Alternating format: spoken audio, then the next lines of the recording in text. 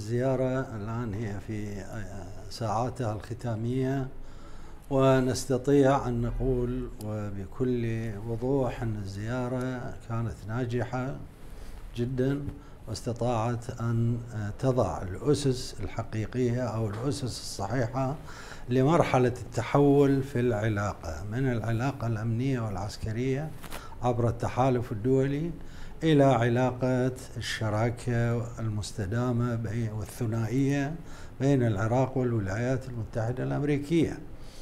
العراق يهمه أن تكون هذه العلاقة طيبة وفي آه، آه، مجالات عديدة وقلنا سابقا أن الشعب العراقي أيضا تواق لأن يرى الوجه الآخر لأمريكا الوجه الصناعي والتكنولوجي والثقافي والاستثماري.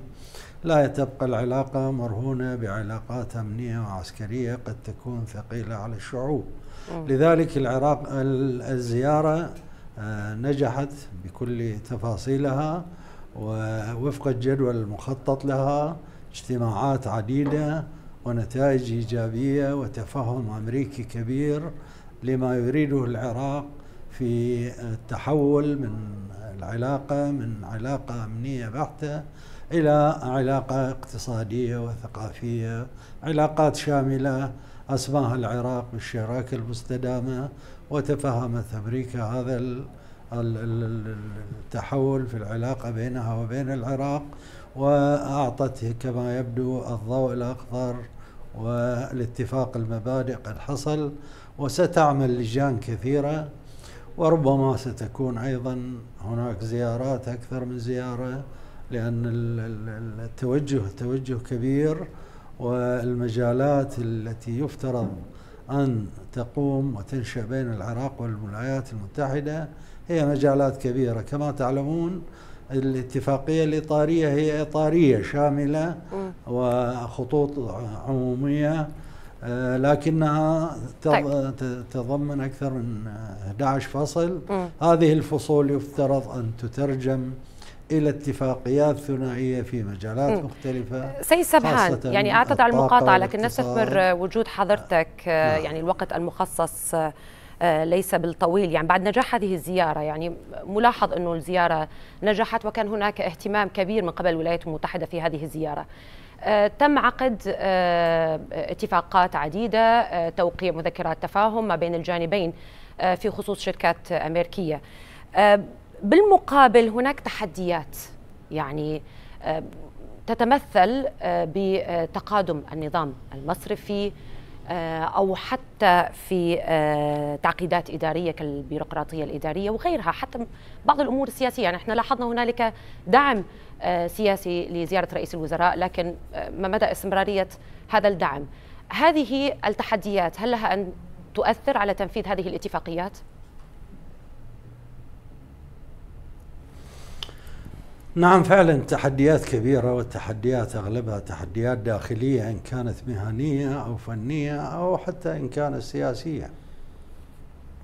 على صعيد السياسي هو مدى التزام ائتلاف إدارة الدولة والقوى السياسية كلها الداعمة للحكومة الحالية بالاستمرار بدعم الحكومة وعدم خلق أي مشاكل معينة من أي نوع آخر يفترض و مما يسهل الأمر إن كل القوى السياسية دعمت هذه الزيارة وأصدرت بيانات دعم لهذه الزيارة. فهذا كله يعطي مناخ إيجابي أنه المشاكل السياسية قد لا تظهر. ربما هناك بعض التحفظات حاليا. نحس بعض القوى السياسية بدأت الحملة الانتخابية مبكرا. وهذا شيء يعني ما يدعو للتفاؤل لأن الحملة الانتخابية بعد سنة ونص أكثر فيفترض أن لا تنساق بهالمساق هذا. أما من النواحي الأمنية المهنية والفنية فأعتقد آه، صار اتفاق آه، حسب معلوماتي خلال هالزيارة مع أكثر من شركة لتأهيل المصارف العراقية بحيث تعمل وفق المعايير الدولية وبالتالي ستجد مصارف مراسلة لها في الولايات المتحدة الأمريكية وفي دول أوروبية أخرى.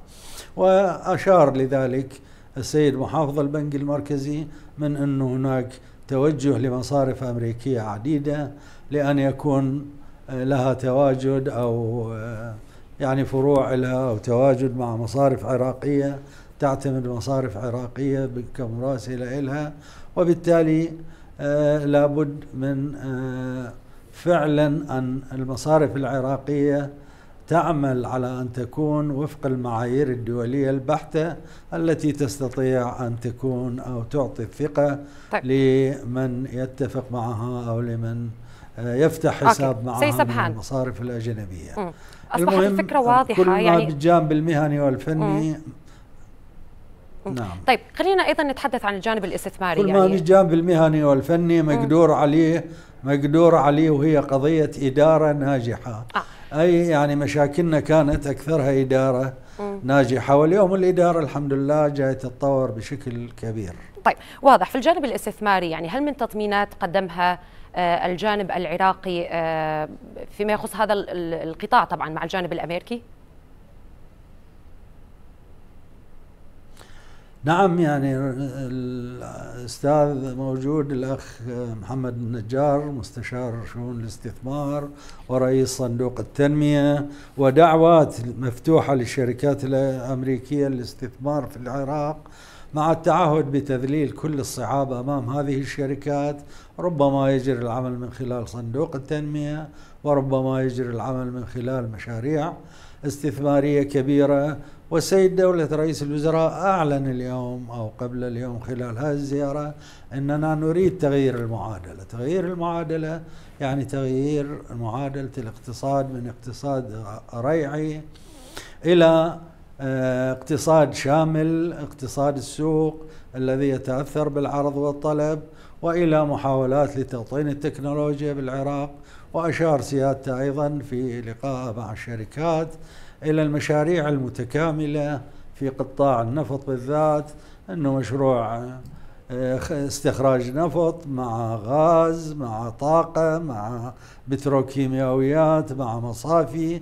هذه المشاريع اللي تطمح الحكومة العراقية لتأسيسها من خلال الشركات المستثمرة إضافة إلى مشاريع أخرى قديمة السكنية وغير السكنية لكن مشاريع الطاقة والغاز والمصافي والمشاريع البتروكيماويات يعني المشاريع الاقتصادية الكبيرة لها الأولوية في سلم أولويات الحكومة نعم. وتوجهاتها